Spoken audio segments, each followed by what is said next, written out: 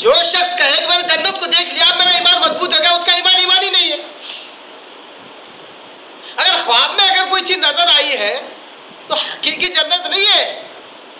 हकीकी जन्नत नहीं है। वो तुम्हारी तस्वुर है, वो तुम्हारा तस्वुर है, तुम्हारी सोच है। कोई बाहर कोई गार्डन देखा होगा कि जन्नत के तारीफ़ से तो रसूल ने कहा वसल्लम, कि उसको किसी आँख ने देखा नहीं, किसी कान ने सुना नहीं, किसी दिल पर उसका ख्याल तक नहीं गुजरा। इतना ही नहीं, हैरत अंगेज बात, ख्वाब में अल्लाह आता है डायरेक्टली अल्लाह तबाक आता है, अपने बंदे से बात करता है।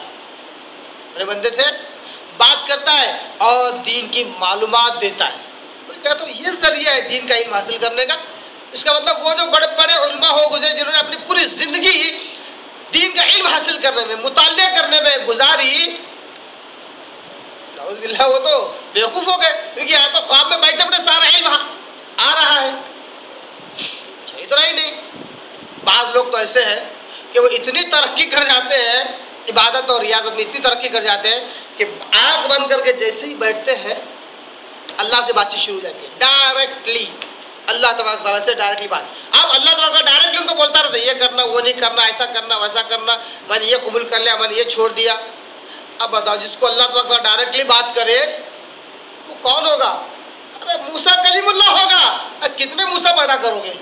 मूसा कलीमुल्ला तो एक ही है जिसने बनाया रात। अल्लाह तबारा से बात की। तो हर कोई मूसा कलीमुल्ला अब दूसरी बात, ये जो अल्लाह से बड़ा रास्ते बात करने वाला, एक आम ही है एक आम इंसान है, जो इस्लाम के मुकम्मल होने के कई सालों बाद, चार सौ, पाँच सौ सालों बाद पैदा होता है। अब ज़ाहिर सी बात है, चार से पाँच साल बाद जो पैदा हो, जिससे अल्लाह तबाला बात करे, यानी कि वही कर रहा है तो वो नबी हुआ। तो ये अकीदे में बिगाड़ पैदा हो गया कि खातिमुल अंबिया आप है या नहीं है? अगर आप सब खातिमुल अंबिया है तो उनके बाद कोई नबी नहीं आना चाहिए। किसी पर भी वही शरीय एतबार से नहीं होनी चाहिए। अब उस शख्स पर वही हो रही है। ये अकीदे का बिगाड़ है। ये अल्लाह की मारिफत सही न होने का नतीजा अल्लाह कहता है।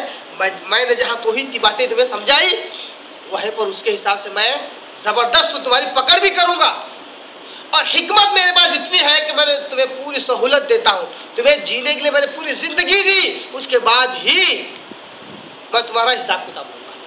ये थी आयत नंबर सत्रह, आयत नंबर अठारह। अल्लाह से दुआ करता हूँ, अल्लाह ताला हमें कुरान को सही समझने, इस पर अमल करने की तोफ़ी अता फरमाए। वाक़ अलहमदिल्ला